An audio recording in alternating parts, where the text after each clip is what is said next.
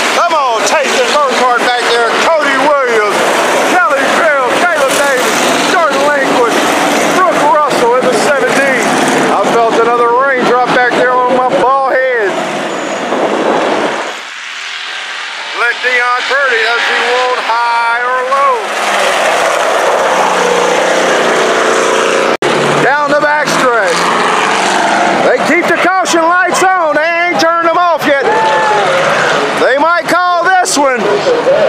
That'll be the 15E of Elliott May. Going two weeks in a row.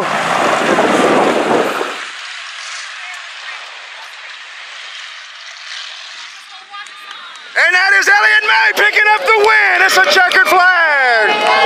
Woo! He's got some fans down here, and his mom's here tonight, ladies and gentlemen. Woo!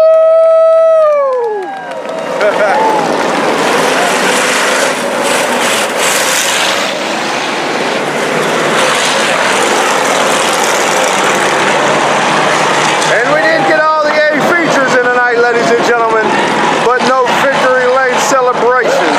So congratulations to all the winners tonight. I missed a couple of them, the eight feature fight. Big thanks to Troy Burkhardt for letting me throw the contour in there with him.